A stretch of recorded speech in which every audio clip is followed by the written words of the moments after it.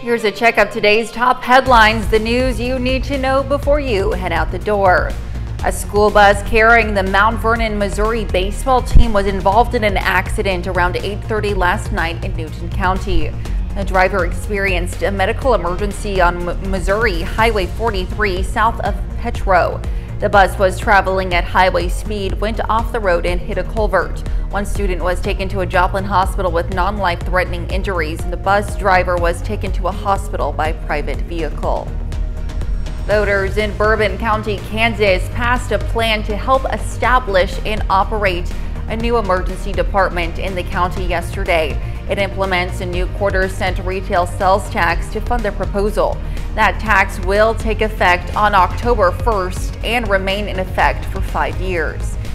Pitt State is ready to begin construction on its new soccer pitch. The pitch will be built on the field between the Weede Gymnasium and the University Lake by the Gorilla Walk Path.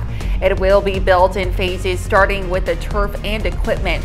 Officials expected to be ready in time for the start of the women's first team's first regular season game this fall.